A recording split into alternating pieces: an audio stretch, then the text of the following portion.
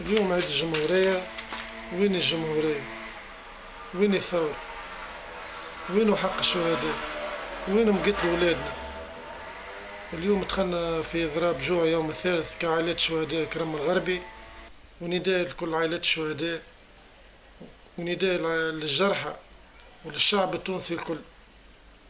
يلزمهم يقفوا معنا وقفة واحدة. وإن شاء الله يوم السبت عنا ندوة صحفية لهنا في الكرم الغربي باش نوروا كل حقائق اللي صارت في تونس كاملة الحقائق اللي اعطيناها اعطيناها للتحقيق العسكري. في زيارة لعائلات شهداء الكرم آه، شنو كلمة تحب تقولها éventuellement؟ عصر روحي ولد الدار ولد الدار وحامل هم العائلات هذه. وأكيد جدا رمضان العائلات هذه وتحركات العائلات هذه. مش كي رمضان التوانسه الكل مش مش كي تحركات التوانسه الكل والطاوله ما عندها حتى طعم وقت اللي يبدأ تصوير الشهيد مازال تلعب وخاصة الوقت اللي يبدأ ألم مضاعف بعض من عائلات الشهداء تو على الأقل عندهم صورة كافيه على اللي قتلوا أولادهم. هذوما إلى حد الآن حتى البصيص نتاع الأمل اللي حطوه على ظهر القضاء العسكري القضاء العسكري يخذلهم. ويبدو أنه مواصل في نهج خذلانهم بمواقف أقل ما نعتبرها أنا شخصيا ما عندها حتى علاقة بالقانون غريبة. ما ترتقيش لمستوى المواقف نتاع مؤسسة قضائية بعد الثورة. ناس لا يعني الحق بين والباطل بين. يعرفوا اللي الطريق الماشيين فيه طريق باطل. لا تخولوا مقاومات وإجراءات المحاكمة العادلة اللي قدر ما تمكن باش ننصفوا ال- المتهم ونعاونوه ونوفروا له الضمانات الكافية. تخول له زاد كذلك وتفرض عليه باش يحترم حق الضحية وباش يحترم آه، آه، الضمانات الممنوحه للضحية ومن أوكد الضمانات هذيك وهذه يعني منذ آه، الأزل أوكد الضمانات هذه حق الضحية في معرفة ال- القاتل نتاعو والمعتدي عليه هذا الكل القضاء العسكري يضرب به عرض الحائط ب خليني نقول لك بتعلات ما عندها حتى علاقة بالقانون جودي جورودي ما عندها حتى علاقة بالقانون. الناس ولا تتفلسف علينا وكل مرة طالعين لنا بنظرية قانونية جديدة. ونحن قعدنا كي سيدي تاتا وأنا ماشيين جايين على المحكمة العسكرية ونخرجوا ديما بيد فارغة والاخرى ما فيها حتى شيء.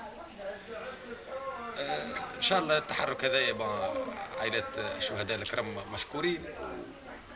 وديما كانوا في رأس حربة النضال نهار 13 جانفي سقاو تونس بدماء أولادهم ومازالوا يعطيوا لتونس. مازال اخر ما عطاو لتونس درس كبير في التمسك بالحق. ودرس كبير في مواصلة النضال ودرس كبير في آه، آه، يعني ميساج هزوه للتوانسه كلهم. وقالوا لهم بالصوت العالي إذا كان غابت عليكم القيم نتاع المبادئ على الأقل استحضروا قيم الرجولة. والرجولية اليوم اللي اللي تجري في دمه على الأقل بعض نتاع رنات شعارات 14 جانفي نتاع المحاسبة ونتاع ال- القطع مع الماضي ونتاع بناء تونس آه، الناس كل تعيش مع بعضها. يظهر لي شعارات هذه الكل الناس كل تنكرت لها اليوم ولولا عائلات الشهداء ما عادش نحسوا جملة وما عادش نخموا جملة اللي صارت ثورة نهار 14 جانفي 2011 donc ال- المسيرة bon يسامحوني في الكلمة المسيرة مازالت طويلة والحق ماهوش باش ناخذوه غدو والحق ماهوش باش يجينا في طبق ذهبي لا من أهل السياسة ولا من أهل القضاء. فما حتى حقيقة هدايا الحقوق الكل تفتك لم أقل تغتصب carrément نعتبر رواحنا أصحاب حق وذاك علاش مواصلين. كلفنا ذلك ما كلفنا. مواصلين بالطرق الحضاريه اللي آه، تقريبا آه، شافوها علينا الناس كل. الفضاء تو والأرضية تو ملائمة باش تتعايش التوانسه الكل. ربي يسامح اللي كان سبب وربي صبرنا نحن وربي يزيد يسلحنا بمزيد من العزم والقوة والإيمان والثبات على مبادئنا ومبادئ جدودنا. واللي يسلم في حقه راهو حتى كلمة إنسان خسارة فيه. خلاصة القول هذه حلقة من حلقات نتاع تحركات تقوم بها عائلة الشهداء. والقاسي والداني يعلم تو يعني أمهات القضايا تقود فيها كان عائلة الشهداء. واللي وقت اللي الناس كل يسامحوني في الكلمة شهدت أوكارها من منظمات وأحزاب وقيادات والأسامي الكبيرة الكل. كان عائلة الشهداء مازالت تتحرك ومازالت تفرفت. ومازال ت- إنه تابع في. في حقها وكان عائلة الشهداء هذا تاريخ ما نقولوه يحب اللي يحب ويكره اللي يكره. كان عائلة الشهداء اللي قالت الدم ماهوش سلعة تباع وتشترى وغير قابلة للمقايضة وماناش مستعدين باش نعوضوا دم الشهيد بحفنة نتاع فلوس. بنتي ضربته كلب عامة محامين أربع محامين تو تشوفهم في المجلة اي الكلب ادوات سيجورتا. وأعطوها 250 مليون لورو. مش مش توسية ها. وعمرت قضية اللي قتل لها الكلبة نتاعها عملوا له خمس سنين.